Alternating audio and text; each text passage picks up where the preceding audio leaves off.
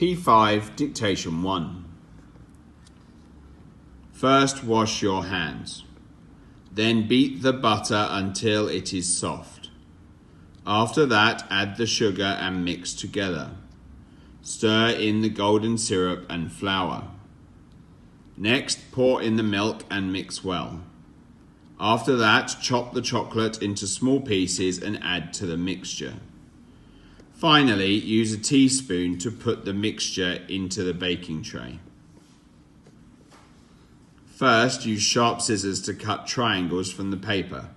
Then fold the bottom of the triangles and unfold them again. Next, put the triangles in a line on a flat surface.